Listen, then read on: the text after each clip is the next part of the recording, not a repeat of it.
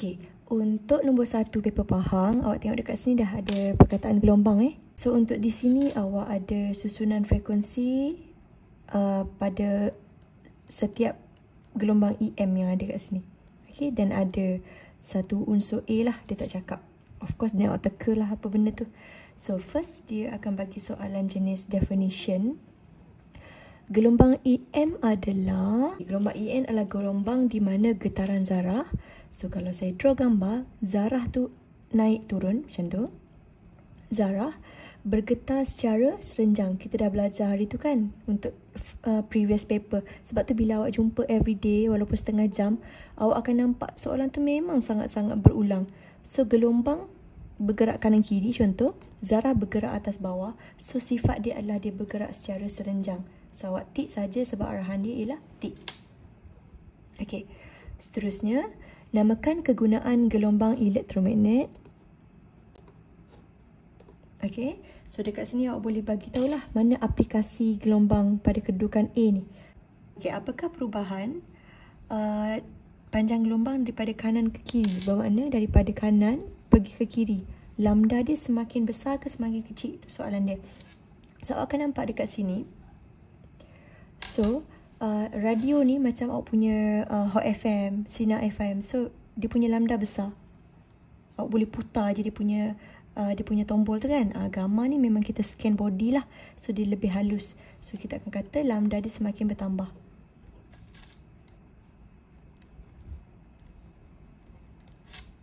Okay. Hubungan.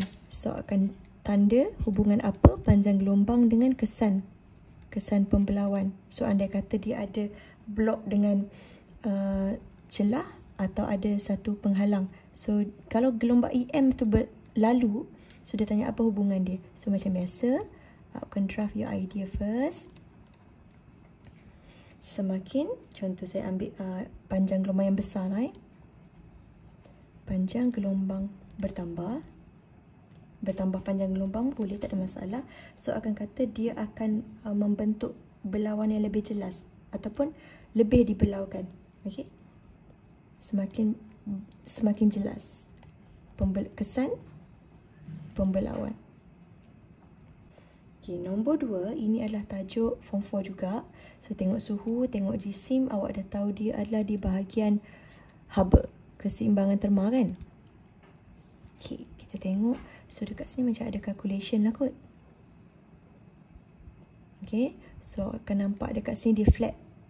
Dalam masa di saat apakah maksud keseimbangan terma. Okay. So dekat sini awak kena tahulah. First awak kena sebut bahawa untuk berlaku keseimbangan terma mesti ada body contact, touch. Dia mesti sentuh antara item A dengan item B. So akan kata haba dari kanan dan kiri mesti berpindah eh. sama ada uh, katakanlah 100 pindah kepada 70 so 100 ni akan pindah dengan banyak 70 pindah dengan sikit.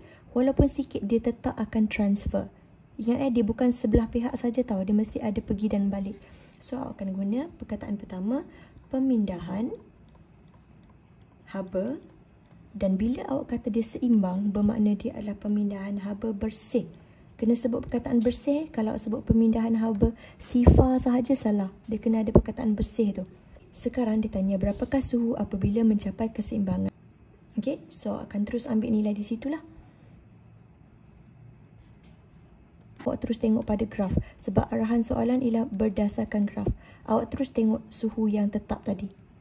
Okey awak terus capai nilai 40 darjah celsius. Unit jangan lupa Kenapa awak membalut bika? So ini langkah berjaga-jaga sebenarnya. Sebab awak nak apabila awak ada tutup dia dengan satu item lain seperti kapas, awak sebenarnya nak elakkan haba itu spread keluar. Bermakna awak nak jadikan haba tu hanya bergerak di dalam sekitar ni saja. So tujuan dia adalah untuk mengelak haba hilang. Hilang ke mana? Keluar. Atau perkataan paling senang ke persekitaran. Hitung muatan haba tentu. So, bila ditanya muatan haba tentu logam, berarti awak nak C logam. Okay, you are given C uh, air. You are given dengan anggapan tiada haba hilang persekitaran sebab kita dah balut tadi kan. Okey, so kita guna saja formula uh, keseimbangan terma kan.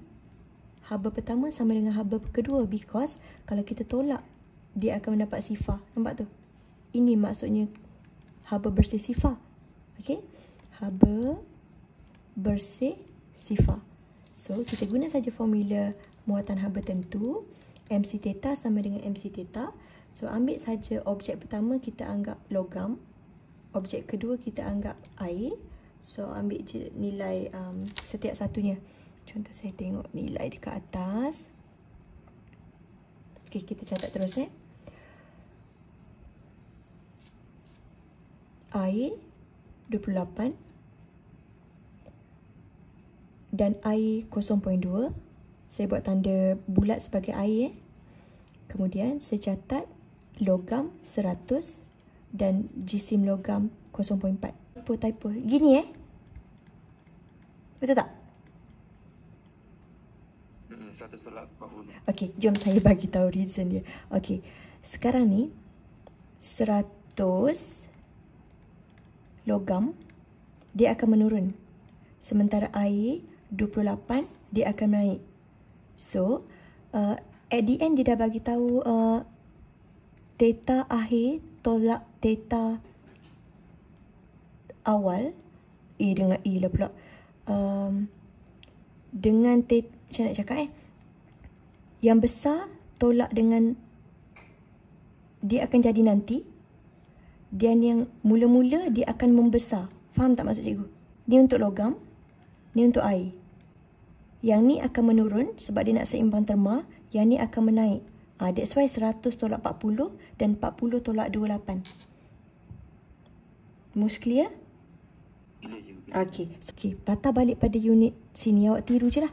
Joule, kg tolak 1, darjah celsius tolak 1. Sorry sini ada typo sikit. Okay, ini gravity. Awak ada satelit pertama dan satelit kedua mengelilingi bumi. Sama jisim dia. Jom kita baca soalan. Jisim adalah kuantiti asas lah. Ni basic. Ataupun ada pelajar kalau dia nak tulis skala pun boleh. Asas ni maksudnya apa? Dia tak ada darab, dia tak ada bahagi. Skala ni pula apa? Maksudnya asas ni single. Skala ni pula maksud dia um, dia adalah tidak ada arah. Dia hanya ada nilai sahaja. Itu maksud dia. Dua-dua diterima. Kejap eh. Okay. Next, bandingkan jisim. Tadi saya dah bagi tahu. Kebetulan kita dah check.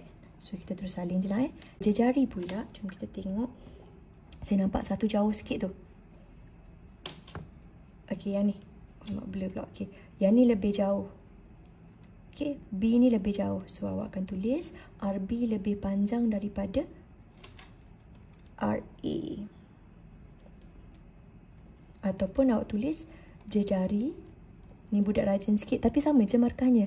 Jejari A lebih kecil daripada jejari B. Sama je, tak ada masalah. Bandingkan tempo. So, awak kena relate dengan formula lah. Okay, awak akan kata bahawa tempo dia berkadar terus eh. So, akan kata tempo untuk A adalah pendek berbanding tempo untuk B. Hubungan jejari dengan tempoh tadi sudah kata dia berkadar terus. So, hubungan mesti sebut secara semakin. Awak jangan sebut berkadar macam hubungan graf tau. Bila sebut berkadar terus, ni adalah proof daripada graf because sentuh point asalan. Berkadar terus hanya boleh digunakan jika melibatkan graf. Kalau tak ada graf, awak kena guna lagu Siti Sarah. Okey, semakin bertambah dan bertambah jejari dan tempoh. Okay. Next. Hukum memang kita tahulah hukum apa. Jejari dengan tempoh. Kepler kan? T2 R3. So akan kata hukum Kepler. Jangan sebut Kepler saja. Habiskan dia hukum Kepler ke 3. Apa yang terjadi pada tempoh jika jisim bertambah? Jisim tak ada kaitan. Kepler dia hanya bagi tahu relationship dua item ini sahaja. So akan tulis tidak berubah. Ini macam pengiraan. Okey baca dulu Raja menunjukkan ada ah, ni tempoh lah. Ni tempoh tapi ni dalam minit, ni dalam hari, ni ada jarak. So saya rasa dia nak suruh apply formula tadi tu. Okey jom. So akan kata formula Kepler sebelah kiri dan sebelah kanan. Okey. So dekat sini kita kena samakan unit. Kalau unit sini minit, so pastikan di sini pun awak minit kan? ISS ISS. This one is bulan. Kenapa saya letak ISS ke atas? Sebab saya nak jadi dia um, ini. Saya nak cari R dia duduk ke atas. So saya ataskan siap-siap. Senang nanti bahagi pindah uh, darab sekali gerak sahaja. Okey, saya masuk nilai terus eh. 92.7.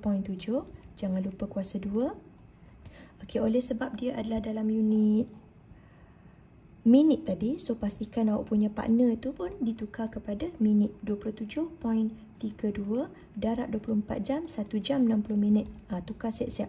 Supaya at the end of the day minit dengan minit boleh cancel. Okay, so radius awak nak cari, ah ha, ni maksud saya di belah atas kuasa 3 oh, nak cuai dah tu. Okay. So awak diberi uh, jejari tadi 3.8 10 kuasa 8. Jangan lupa kuasa 3 juga. Dan akhir sekali selepas awak pindah-pindah awak punca 3 kan radius tu dan awak akan dapat nilai R sebagai 6.729 atau saya jadikan 2 tempat perpuluhan pun tak ada masalah tapi cantiknya uh, 2 hingga 3 lah. Okay.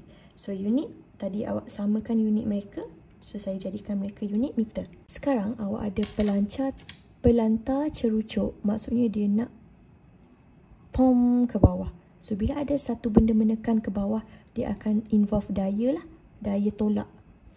Okey lepas tu dia kata dia nak tanam maksudnya ah ni daya tolak tu menyebabkan kesan sakit kan? Ah kesan sakit itulah yang akan menyebabkan kesan impuls tapi disebabkan yang sakit tu adalah cerucuk yang belah bawah ni uh, objek kan? Dia bukan sakit macam manusia kan?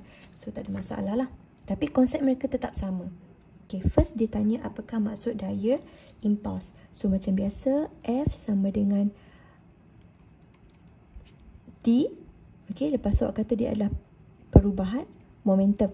Kalau awak lupa sangat-sangat-sangat, tolong tengok muka surat depan, nanti awak transfer balik.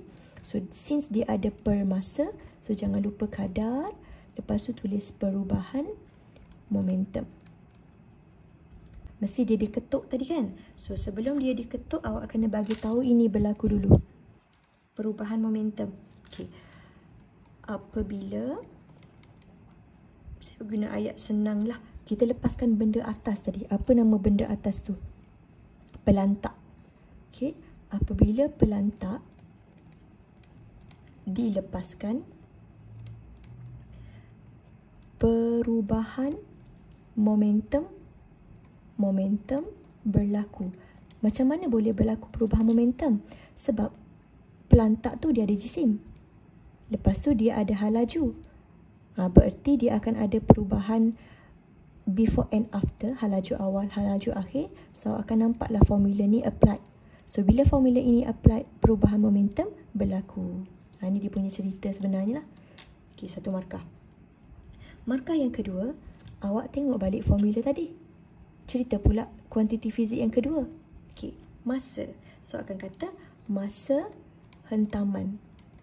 Involve, betul tak? So bila dia involve, benda ni akan ada daya. Daya tu pump dengan lajunya. Bermakna masa hentaman itu pendek. Kalau awak tak pandai nak bagi tahu siapa besar, siapa kecil, awak bagi tahu je perubahan momentum berlaku pada masa hentakan. Maksudnya dia ada dua jenis kuantiti fizik yang boleh mendapat markah. Ha, itu pun dah cukup bagus dah sebenarnya. Hubungan. Biasanya soalan jelaskan ni, selain daripada awak punya tips, okay dengar eh, tips cikgu, selain daripada tips menyatakan kuantiti fizik, tolong tolong masukkan hubungan. Ha, macam tu. Dan dia punya cara nak mudah buat awak pastikan awak guna formula yang pada muka surat satu tu. Semakin dan semakin. So, seperti awak tahu, daya yang besar kita nak ketuk tadi pada masa yang singkat. So akan kata semakin pendek masa semakin besar daya impuls. Ah, relate ke yang ni pula? Ah, okay, sorry, sorry. Saya bagi markah terakhir. Daya impuls yang besar tadi adalah um, saya buat semakin pun boleh. Semakin tinggi sebab saya kata mesti ada hubungan kan. Semakin tinggi daya impuls, semakin tinggi perubahan momentum. Ah, baru kemas awak punya idea. Hmm, this is a pengiraan. Awak ada jisim sebelum. So, awak ada you. Ha, dia dah mention. Kebetulan dia dah tolong awak kat situ. So, hitung momentum. So, dia punya kuantiti simbol uh, P. So, dia bagi lagi sekali. Sebelum bermakna P sama dengan MV. Tapi velocity awal saya letak MU siap-siap eh. Sebab dia tanya sebelum. Bermakna ini adalah hal laju pun hal laju sebelum. Ha, ni very simple lah. Dia macam sangat membantu awak. So saya ambil balik nilai sebelum tadi 20. 100. Kalau unit tadi kg, ini ms negatif 1. Terus je. kg, ms negatif 1. Baik impuls, dia mesti ada perubahan akhir dengan awal per masa. Okay, tadi kita tahu bahawa awal dia uh, momentum dia 100, 500 mili. Sekarang dia dah stop kan? Dia menghentam, lepas tu dia stop sebab dia dah hentam. Maknanya awak yang uh, yang awal tu akan menjadi akhir. Boleh faham maksud cikgu? Sebab dia dah sentuh tau. Bila cerucuk tu dah sentuh, bermakna yang ini akan bertukar menjadi akhir. So ini akan menjadi sifar. So akan dapat 100 tolak kosong. So tekan kalkulator, awak akan dapat 2000 Newton. Sebab dia dah berubah fungsi. Ah ha, tu dia punya trick lah. Teknik yang mana sesuai menghasilkan bola dengan hal laju tinggi. So as I said tips dia, jangan ulang perkataan tadi, modify sikit ayat awak. Okay, macam mana kita nak ketuk bola tu dengan hal laju yang tinggi? So biasanya budak sukan ni dia tak akan tampar bola dekat-dekat. Kalau tampar bola teknik yang rapat, dia tak akan pergi jauh. Betul? So awak akan tampar mengikut lajak. Maksudnya awak ada uh, jarak Okay. So yang tidak ikut lajak ni padam. Smash tinggi. So bila smash tinggi dia akan pergi jauh. Berbanding awak smash rendah. Okay. So awak akan ambil yang ni. So yang ni. So since this one dah padam. So pilihan awak ialah R. Okay. Ada tak ruang untuk saya conteng?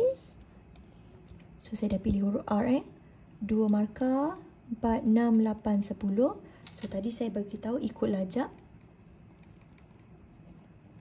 Kemudian awak pastikan awak uh, ketuk dia pada ketinggian yang tinggi. Tekanan pun of course awak beri tekanan yang tinggi. Barulah dia punya daya akan pergi dengan tinggi. Tekanan tinggi. Dan awak perlukan bola yang kenyal. Kenyalan yang tinggi. Kekenyalan yang tinggi. Betul tak? Elasticity bola kan? Okay. So, alasan awak kenapa awak buat lajak tadi saya dah bagi tahu awak nak jadikan dia lebih jauh so awak nak daya impuls dia adalah besar okay. so dah dapat pair markah kat sini dua so ketinggian yang tinggi dia ada kaitan dengan MGH kalau awak masih ingat so ini adalah tenaga potential keupayaan so akan menghasilkan tenaga yang besar Kemudian, tadi saya baru conteng dekat sini, tekanan dan daya. Ini juga akan menghasilkan daya impuls yang besar. Boleh ulang SIC. Dan kekenyalan, patah balik kepada formula kekenyalan. X kuasa 2. Okey. So, akan kata dia akan menghasilkan tenaga yang besar. Siapa nak mention tenaga ke ke keupayaan, tenaga keupayaan kenyal pun boleh juga. Nak just bagi tahu tenaga pun boleh juga. So, awak ulang balik lagi sekali.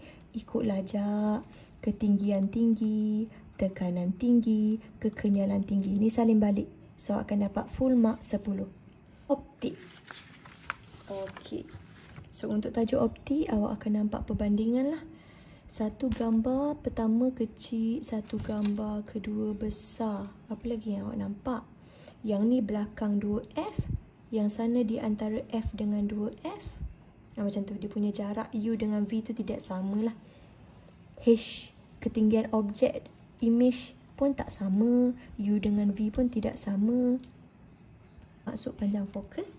So, akan bagi tahulah. lah awak boleh guna formula tapi as I said kalau boleh awak tengok dia punya uh, maksud dalam buku teks tu itu lagi selamat sebenarnya. So panjang fokus dia sebenarnya jarak daripada titik fokus ni. Ha ni. Ni titik fokus. F yang besar. Panjang fokus F yang kecil. Okay, so panjang fokus ialah jarak di antara titik ke prinsipal pusat kanta awak tu. Okay, so akan tulis dia sebagai jarak di antara titik fokus F dengan pusat P tu, pusat optik. Bandingkan, bulatkan kata kunci, markah nak 5. So, markah pertama daripada jarak objek, markah kedua ketinggian image, markah ketiga ketembalan kanta, markah keempat hubungan jarak objek dengan ketinggian image, Markah kelima, fenomena. Cari dia punya point dulu supaya awak sayang markah kan. Saya selalu cakap benda yang sama. Okey, saya draft my idea dekat sini. So, awak akan nampak dia adalah fenomena pembiasan tau. Sebab udara dan kanta. So, dia tak sama ketumpatan kan. So, berlaku pembiasan lah. Itu benda pertama yang awak kena kena faham. So, fenomena pembiasan berlaku lah kat sini. Jarak objek. So akan nampak memang tak sama. Jangan tulis tak sama tapi kena tengok siapa besar, siapa kecil. Ni objek. So ini jarak objek. Untuk diagram 11.1 ini paling besar. Okay, jom kita tulis. Jarak objek 11.1 lebih besar. Alright, kemudian dia tanya ketinggian image. Jom kita tengok image eh, jangan tengok objek. Okay, ini height of. Height. Image. Kita tengok cara saya jawab eh. Ketinggian, saya salin balik je. Image. Saya tahu dia sebagai height image. Lebih pendek. Sorry. Untuk gambar pertama. Lebih pendek daripada gambar kedua. Ha, ni memang, wah budak ni memang pandai menjawab. Okay. Dan nombor tiga, dia tanya ketebalan kanta. Ketebalan kanta So nampak dan dia dah cakap tadi adalah sama. Okey, lepas tu dia tanya hubungan, betul?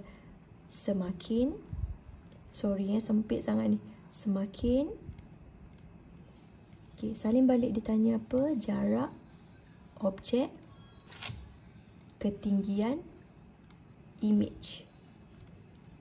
Okey, awak nampak di sini lain kan? Satu besar, satu kecil bermakna dia berkadar songsang. So kata semakin besar jarak objek semakin kecil ketinggian imej. Seorang tukang emas menggunakan satu alat uh, untuk melihat batu permata. Uh, ni jelaskan lagi sekali lah macam mana batu permata dibesarkan. Maksudnya macam mana pembesaran atau magnify itu terbentuk. Okay.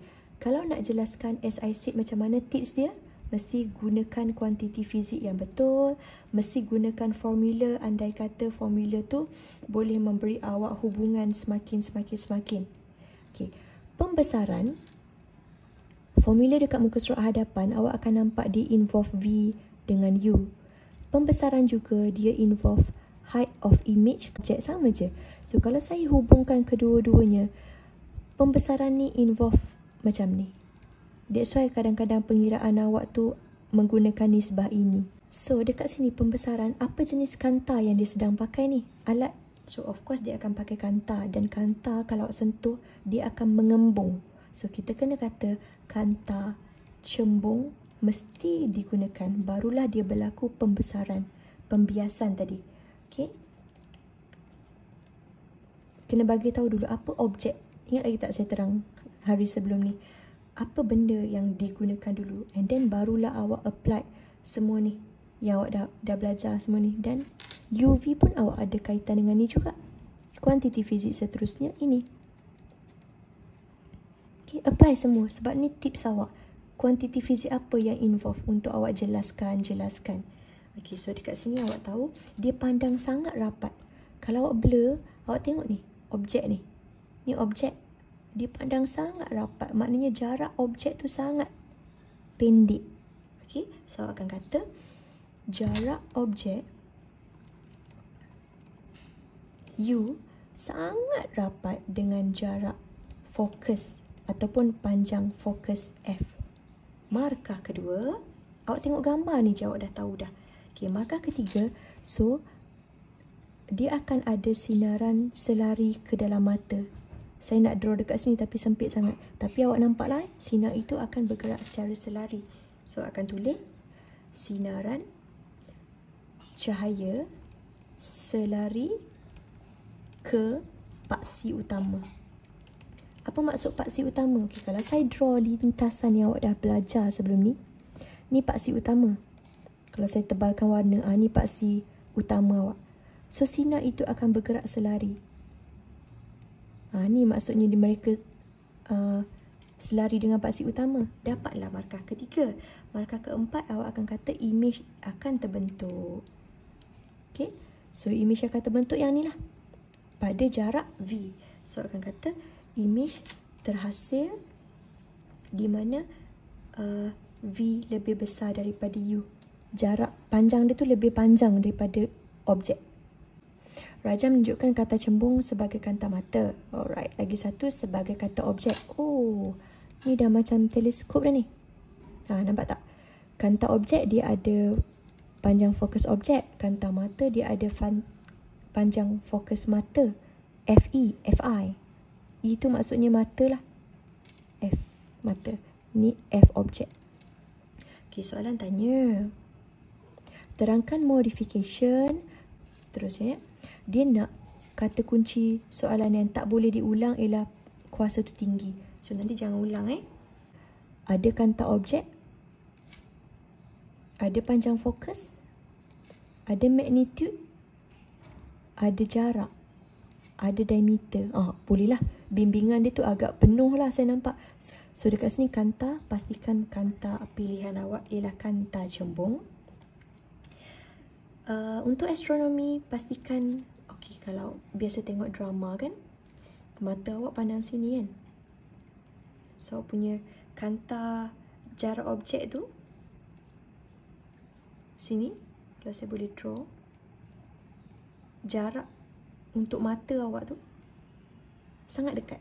Tapi untuk capai ni ke bulan, contoh awak nak tengok bulan, so jarak untuk objek tu, awak tengok apa? Awak tengok bulan eh, galaksi ke.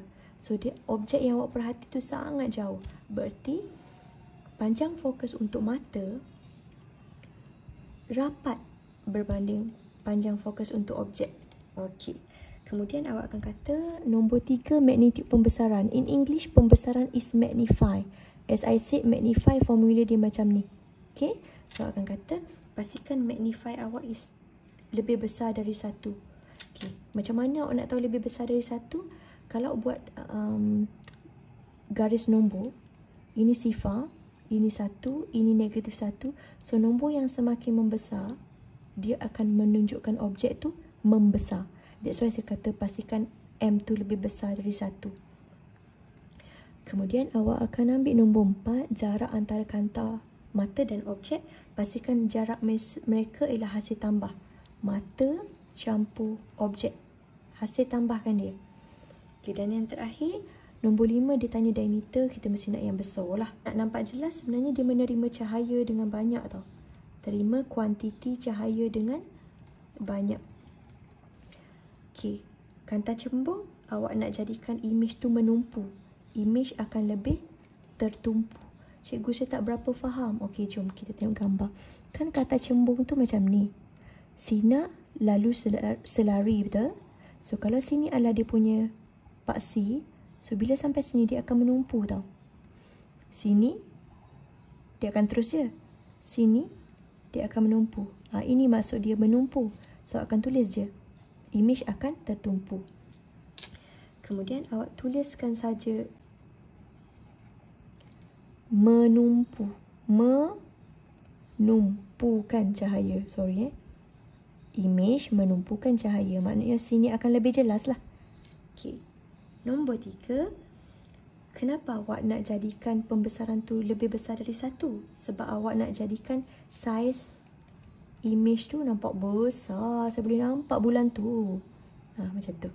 Kemudian kenapa nak hasil tambah FM dengan FO? Awak boleh ulang balik supaya image awak pun saiznya lebih besar. Tak ada masalah. So ini adalah antara uh, alasan yang paling selamat untuk awak.